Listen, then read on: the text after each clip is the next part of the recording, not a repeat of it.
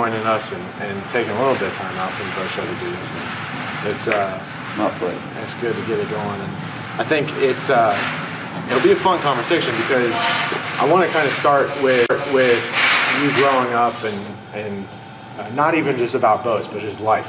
I mean, what did family look like for you growing up in, in North Carolina, right? Were you kind of right. all over the place because your dad was in the Marines? Dad was in the Marines, but he was in World War II, and uh, he was wounded, and, but he didn't make a career out of it. After he healed from his wounds, he went into the Army and finished out his time in the Army. But we didn't move for that reason. The house that I was born in, my mom still lives there. Okay.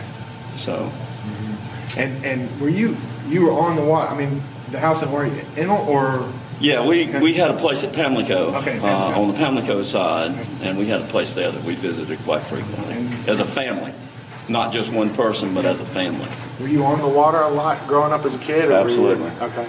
And uh, other things, I mean, were you a hunter? Uh, I know you love horses now, but what's what other hobbies and things that you Well, had? growing up was hunting, fishing. That's all we knew, and skiing. That's Yeah. all we knew. And then as we got a little older, or as I got a little older, you know, I took an interest in flying, so I got my pilot's license. I got scuba. I got certified for PADI I, Yeah. as assistant instructor. So water's always been in my life, Mm-hmm. even today. Even though we have horses, water's in my life, obviously. Yeah. How, how old were you when you got your pilot's license? Uh, I soloed when I was 26. And just something for fun, or did you Yep. ever think about? Boyhood dream. Okay. Interesting story. Um, I collected model airplanes, and all of my planes that I collected were World War II vintage aircraft. You know, B-25s, B-17s, Corsairs, Spitfires.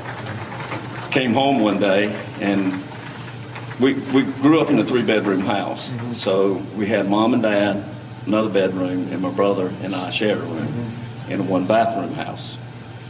I came home from school. My brother and sister were not in school, and all of my planes, my model aircrafts mm-hmm. that had been built, were destroyed all over the patio. And I asked them, I said, "What are you doing to my models?" Well, we wanted to see if they would fly.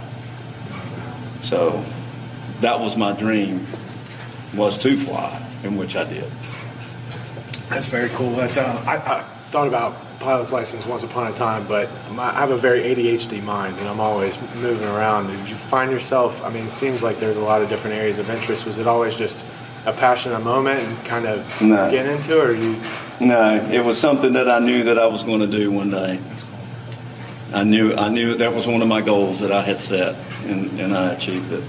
So, family growing up in a one bathroom house, Yep. get to know each other very well, very closely. Pretty much, especially with a sister like I have who is very attractive, and my brother and I with girlfriends and she with boyfriends.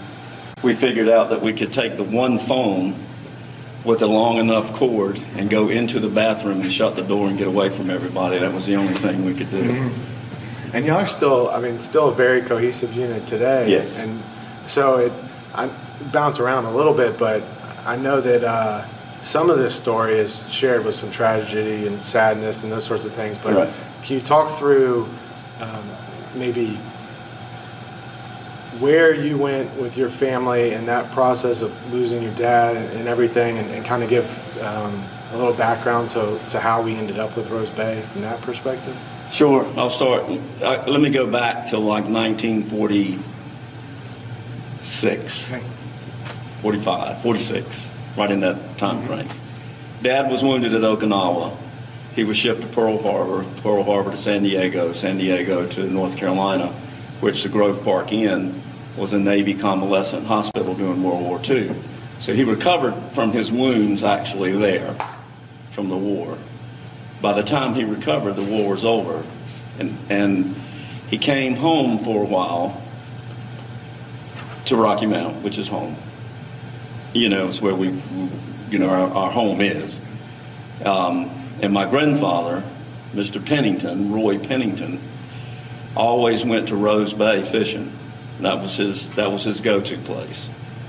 And he happened to tell my dad one day, he said, uh, Cliff, said, you're all healed up. Said, I think you need to get your mind off things. Let's go fishing. So they took off and went to Rose Bay fishing. And they were bottom fish, whatever bit, croaker, spot, trout, whatever, flounder.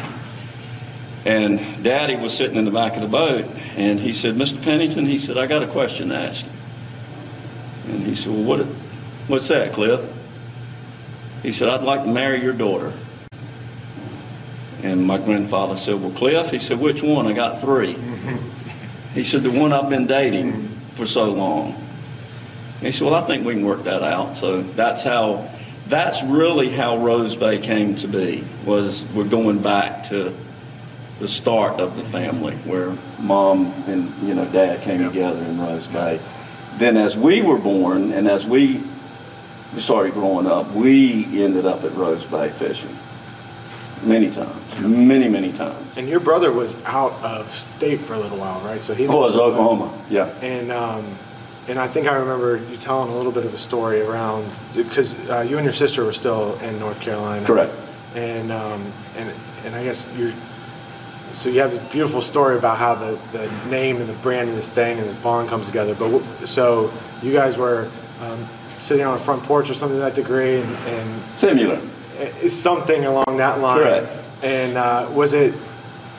I mean, you don't just fall in the boat building business. That that typically. Well, no, you don't. Um, yeah, I've been in the boat business for many, many years, over 20 some years.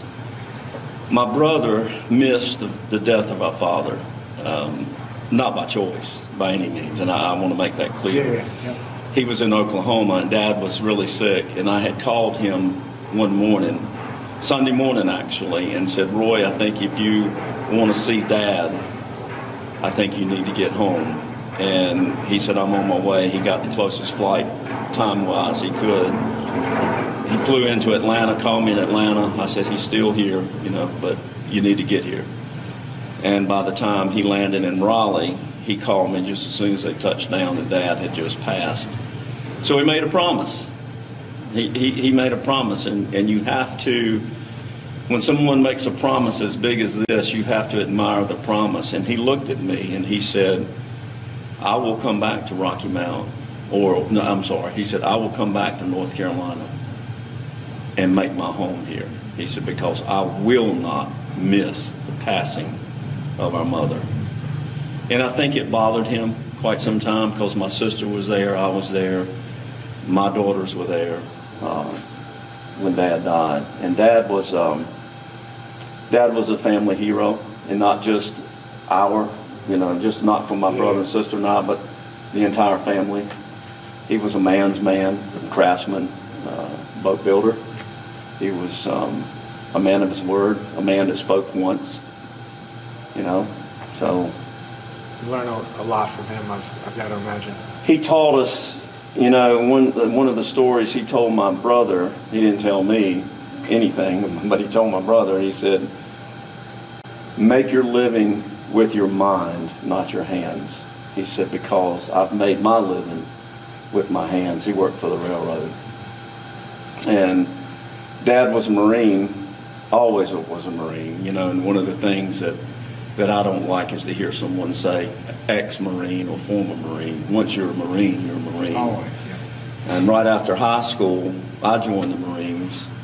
My brother just found out about it uh, maybe a year ago because I never talked about it. Now, I didn't make it through Vietnam and all of this. I, I had a sickness, but I fooled, I had asthma, and I fooled everyone and got in. And uh, the doctors down at um, Parris Island figured it out, but they kept me in the reserve for, you know, for a while because of Vietnam.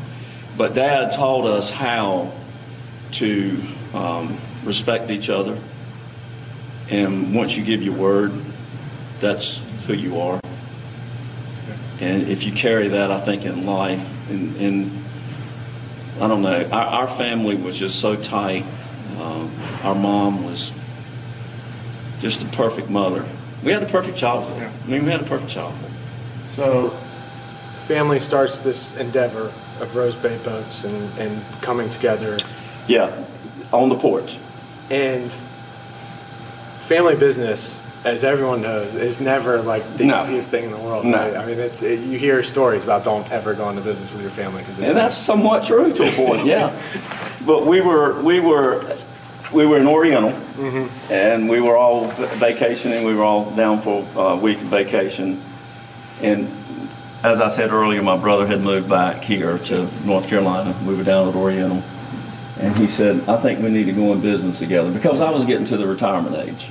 And uh, he said, We all need to go in business together. I said, Who's all? He said, Me, you, and Kathy. I said, Doing what? He said, I don't know. We'll figure something out.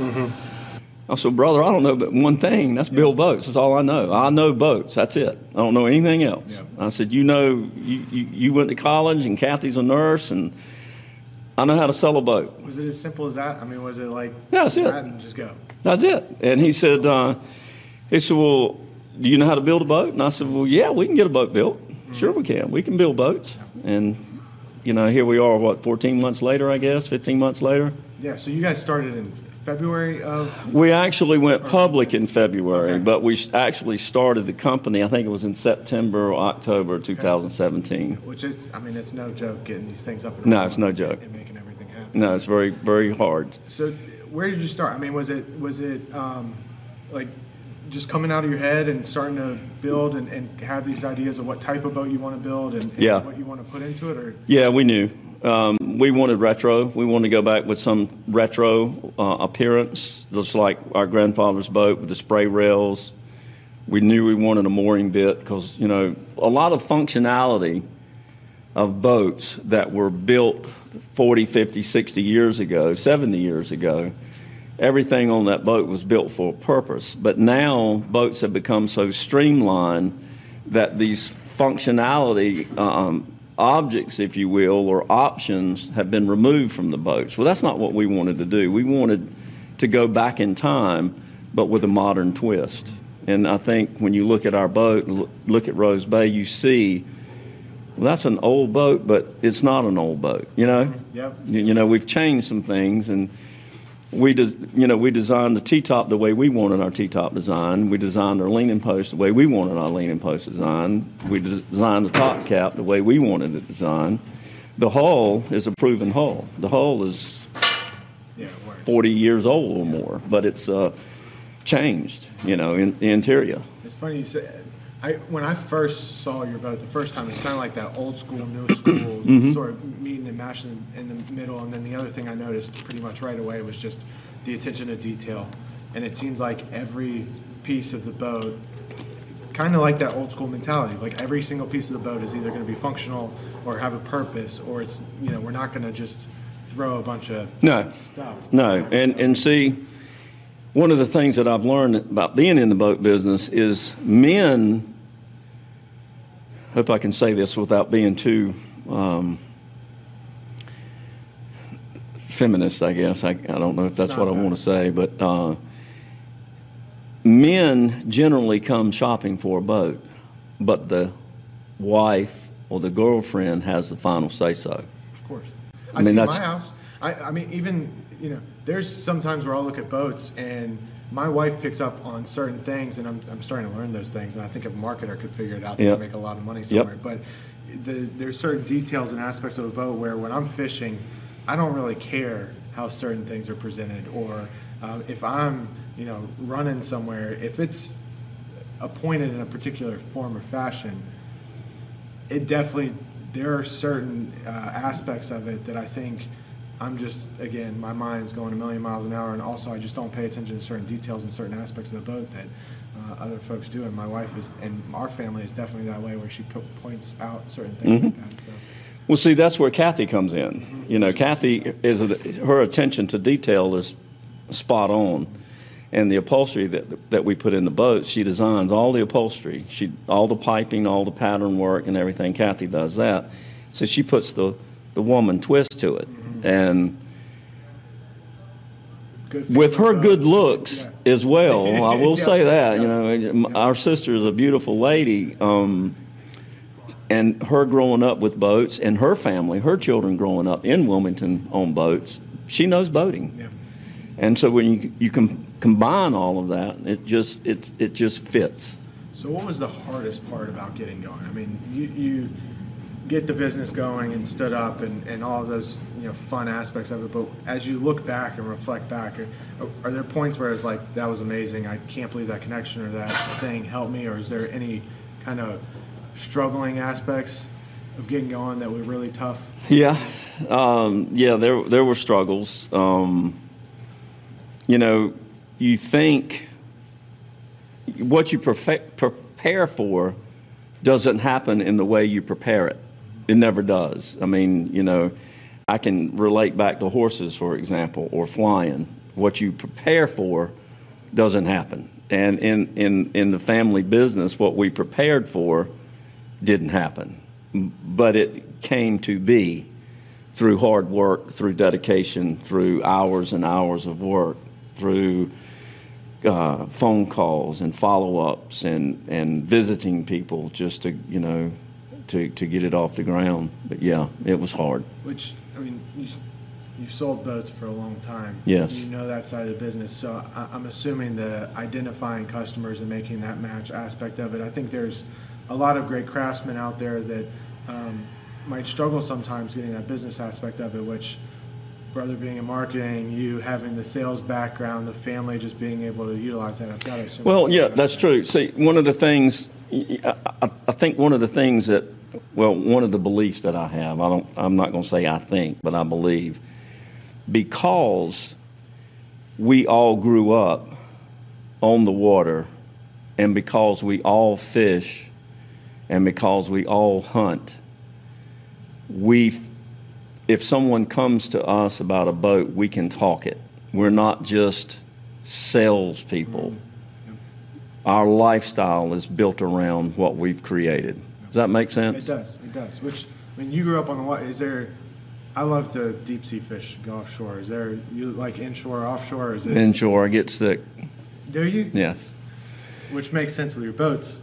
Yep. And uh, were you on guides a lot when you were growing up, or were you guys always running that, just getting on the boat, mom and dad, and rolling out and going? Get on the boat and go. Get up, get ourselves and go. I mean, we were all running boats at 12 years old. I mean, we've taken boats out by ourselves. You know, there wasn't any law about ages or anything. And I mean, we would go. Kathy would even, uh, she would even borrow Dad's boat while he was asleep and put it back in the same spot before he woke up. So um, we were always on the water, like I said earlier. What about today? Do you get to get out on the water much, or is it? Yeah, yeah, Fun yeah. fishing or tournament fishing? or Uh, both. Yeah. you have a preference for one or the other? Um, fun fishing. Tournament fishing's pressure. Fun fishing out of where? Where's your favorite place to go? Fun fishing. Oriental, Oriental. without a doubt. Yeah, which it, it I was uh, talking with one of our buddies over at the Neuse Bay and Tackle uh, down in that way, and uh, I, I remember joking with them saying that it was crazy they named that place the sailing capital of Carolinas or however far they Yeah. try to reach it out because the fishing down there is Yeah. unbelievable. It's phenomenal. So But people are finding out about it. I mean, you know, and, and it's had some hard times lately there with the flooding and, um, but, but still. any catches that come to mind of Yeah, lots. Um, my son and I, you know, we, we'd get in a school of trout and, and, uh, not Dawson Creek, I can't think of the name of the creek now, Browns Creek? I want to say Browns Creek. That's probably where we've caught some of the prettiest trout that, um, that, that I've ever caught. And then my nephew, I've been out with him a couple of times out around the bombing range and caught some pretty reds. So, you know, we got some good memories down there. I've seen a lot of people catch their first uh, puppy drum, yeah you know, so in the family, and that's, that's always rewarding. What about as far as um, the folks that are coming? Because now you've had you know several boats going out the door. Correct. It's not like you've only uh, had a couple, and, and that span of time has been incredible to see how many boats have been going out the door. Um, what do you? Is there a particular customer type that you're finding that you're really excited to build a boat for, or is it um, customers driving? Because you're not just this isn't a production boat; it's a custom boat. Right. You know, I've done some pretty crazy things. Uh, We have, with a boat that's not this through the help of many people. Yeah. Is there a particular customer profile that you're seeing that's either really resonating with the boat right now, or that you really enjoy building for? No, um, well, enjoy building them, period. But yeah, yeah. but but um, you know, we've had retired military to purchase. We have um, contractors that have purchased. We have timber guys in timber, you know, in the timber business that have purchased uh, gas and oil companies. I mean, I really can't stereotype one person, but the ones that have bought have it, it, it's they too have been brought up in the fishing world, and so they know boats. In fact, some of them, when they look at the boat, they go back in time and say, you know, my dad or my granddad, and and and, and we smile because we, yep, that's what we, that's what we want. That's what we wanted to hear. And I've got to imagine it's pretty rewarding for someone to be able to be involved in the build process with you guys and be able to have. I mean, obviously, you're you're running with um, making this thing come to life, um, but you got a customer that was a fly fisherman, right? Yeah. And You know about him. can can you walk through that? Did you know about- you knew Well, about him? I, you told me about it, and I'd seen it, and um, yeah, it's. Can you walk through how that kind of came to life? Yeah, he saw it on Instagram. He's from um, in um, I think it was Massachusetts. up Eh, north. yeah, and uh, he saw one of our boats on Instagram, and he started just talking about it. And he said, "Well, I'm a fly fisherman," and he said, "You really don't have any place to put fly rods." You know, and, and I said, Well, how long are your fly rods? He said, Well, you know, eight, nine foot long. He said, We saltwater fish for, we fly fish for stripers and, you know, blues and a few other fish. And he said, I just need something to put my fly rods in. And um, I said, well, let's go to work for you. Let's see what we can do. So he sent us a picture of one of his friends that was um, a store bought fixture, if you will, that his friend had installed on his boat. And we went to one of the lo- all of our boats, all of our product is local, by the way. It's locally sourced, so it's not like we're going offshore or we're going to Mexico, or we're going to South Carolina, or you know, it's all within 50, 60 miles of here Yeah. which is another reason why we like what we're doing. And so we went to a local business in Benson, North Carolina, and presented him, this is what we want to do. And he put it on a CAD machine and designed it.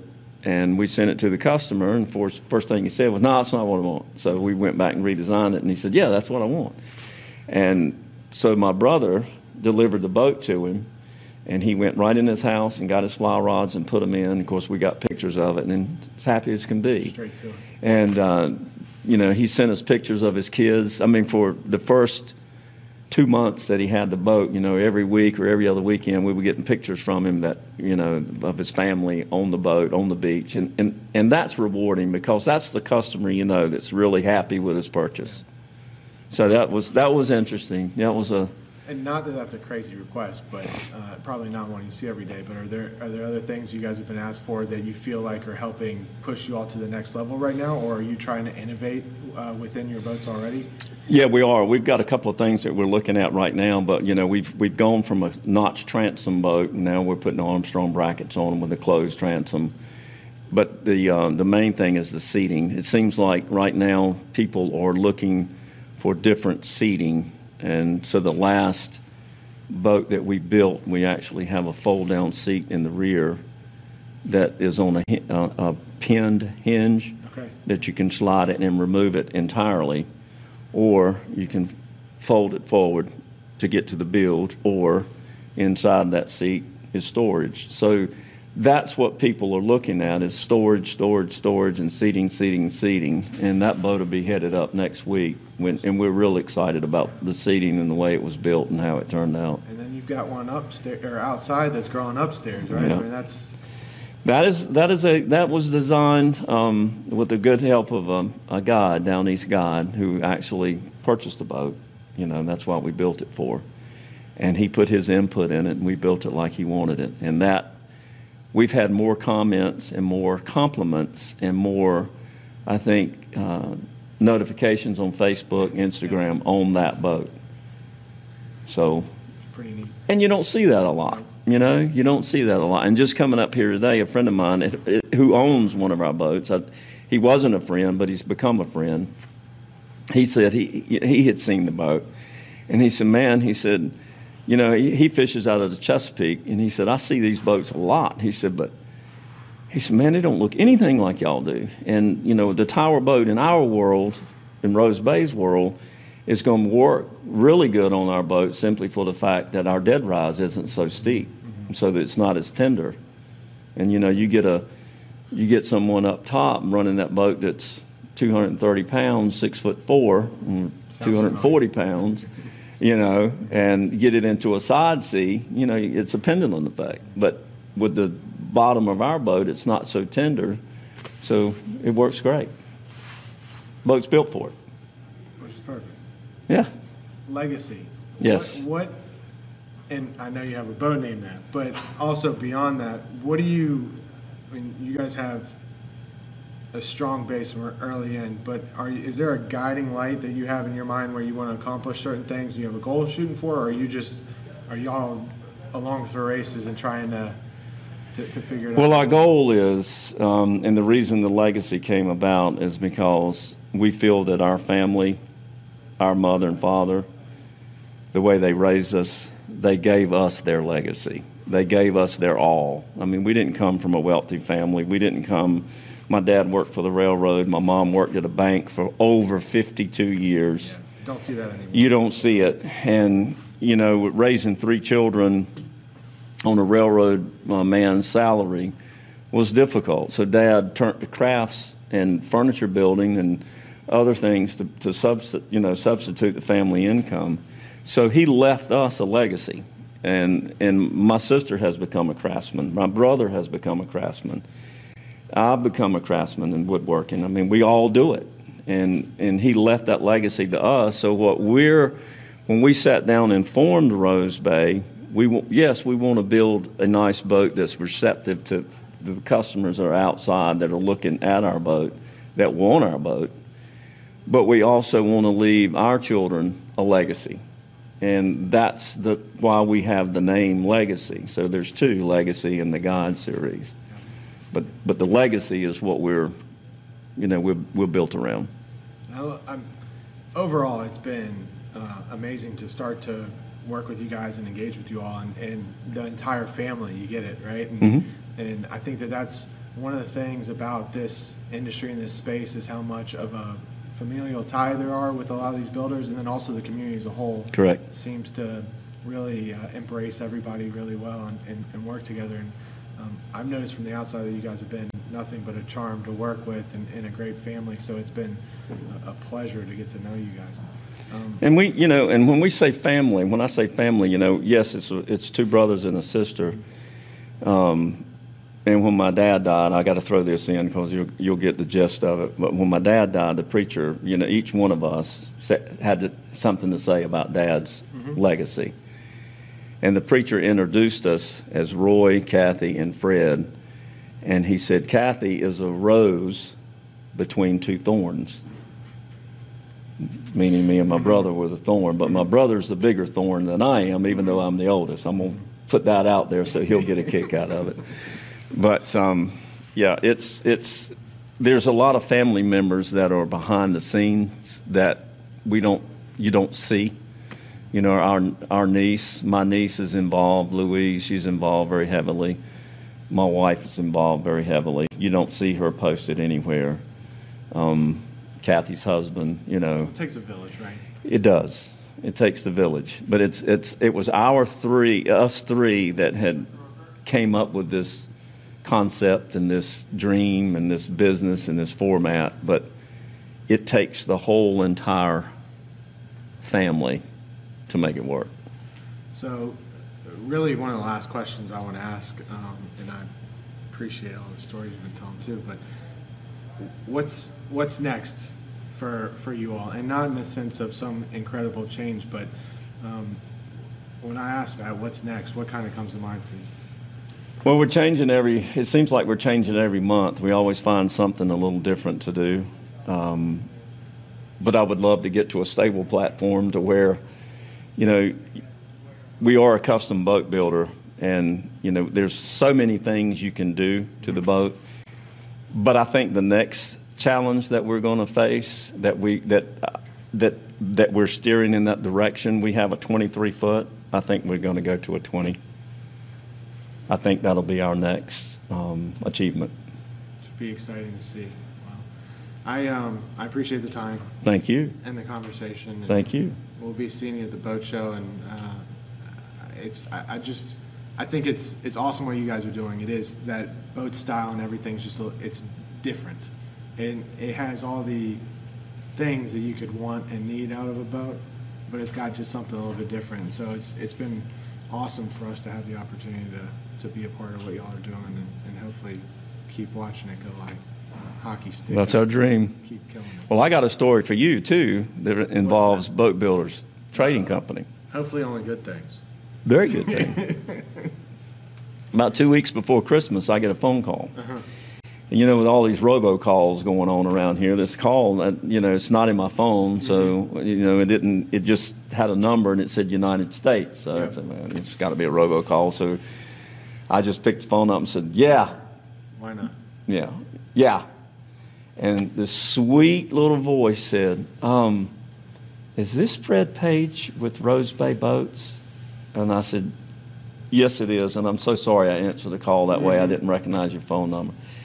Well, my husband was born in Rose Bay, and we were at Cary Town Center. Is that the name of it? Uh, well, and maybe Triangle Town. Center. Triangle Town, Yep. Town Center. We were in Triangle Town Town Center, and someone had a T-shirt on that said Rose Bay Boats, and he fell in love with it. And I don't know anyone to call. She said I came on, came home and, and Googled Rose Bay Boats. Your number popped up. Can you help me? That's amazing small world. And I said, We are Rose Bay Boats. We do not have the T-shirts, mm-hmm. but here's the number to order from. Yeah. So hopefully she did. But they saw your product, mm-hmm. not my product, your No, product. It's it's uh it, it can't one can't happen without that. That's true. That's the magic of this all thing. So it's perfect. Well, I appreciate it. Yeah, man. It's good, but thank you, thank you, and we'll thank call you. it quits. Thank yes. you. Thanks for having us. Absolutely.